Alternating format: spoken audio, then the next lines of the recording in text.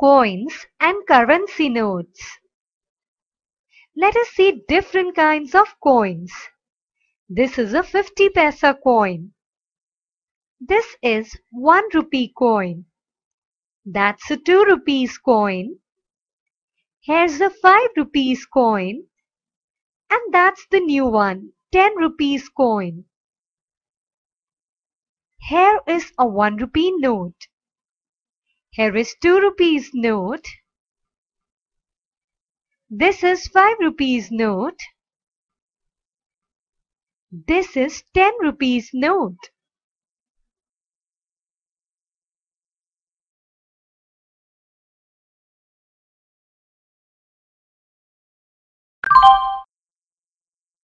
Which coins or currency notes will you use to make up the given amount of money?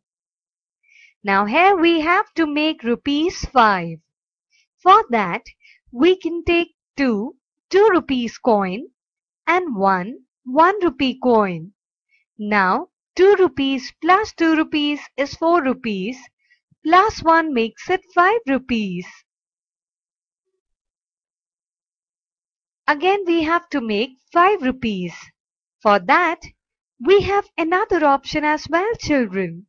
We can take 1 2 rupee coin and 3 1 rupee coins. That would be 2 rupees plus 1 rupee plus 1 rupee plus 1 rupee. That is 5 rupees. Now we have to make 10 rupees coin. For that, we can take 5 2 rupees coins as it would be 2 rupees plus 2 rupees that is 4 rupees. 4 rupees plus 2 rupees that is 6 rupees. 6 rupees plus 2 rupees that is 8 rupees. And 8 rupees plus 2 rupees makes it 10 rupees. Now let us find another way to make 10 rupees. For that, we can take a 5 rupees coin, a 2 rupees coin, and 3 1 rupee coins. That would be 5 rupees plus 2 rupees, that is 7 rupees, plus 1 rupee would be 8 rupees, plus 1 rupee 9 rupees, plus 1 rupee would be 10 rupees.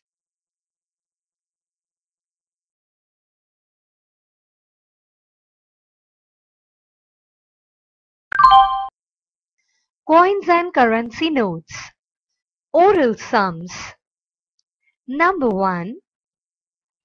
One eraser costs 1 rupee. How much will two erasers cost? Now children, we know that cost of one eraser is 1 rupee. And we have to find the cost of two erasers. Now, two eraser means one eraser plus one eraser. And cost of one eraser is 1 rupee. So cost of 1 plus 1 erasers would be 1 rupee plus 1 rupee. So the cost of 2 erasers would be 2 rupees. Number 2. Rahul bought a balloon for 4 rupees and a pen for 5 rupees. How many rupees did he pay for them? Now children, cost of balloon is 4 rupees and cost of pen is 5 rupees. Now the total rupees Rahul has to pay would be cost of balloon plus cost of pen. That would be 4 rupees plus 5 rupees which is equal to 5, 6, 7, 8, 9. 9 rupees. So Rahul has to pay 9 rupees.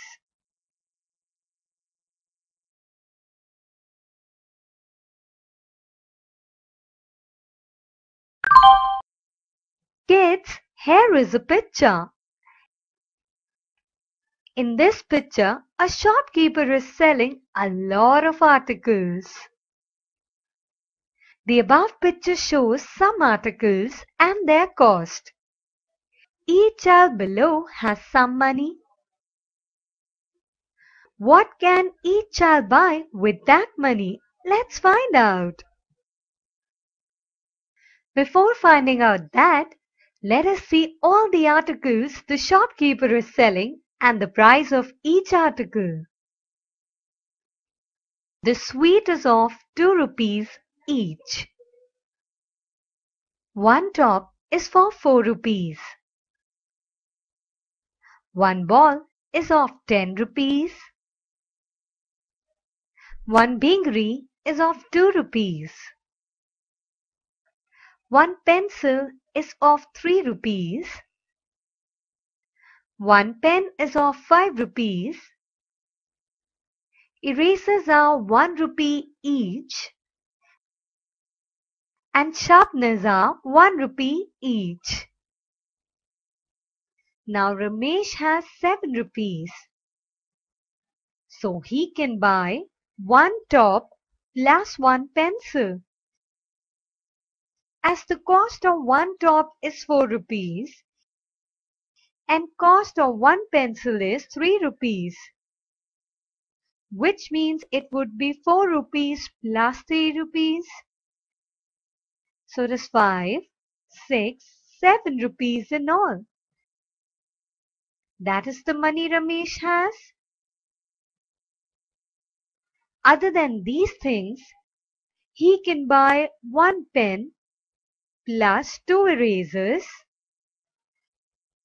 or one sweet plus one top plus one sharpener. Now let us see how much money this Janki has. Janki has 10 rupees. In 10 rupees, Janki can buy either one ball which is of 10 rupees or one pen plus one pencil plus one bingri or one pen plus one pencil plus one eraser plus one sharpener. Now it's Manjeet's turn. Manjeet has 9 rupees. He can buy one pen plus one top or one pencil plus one sweet plus one sharpener plus one eraser, one bingri or one bingri plus one top plus one pencil. Ahmed has 5 rupees.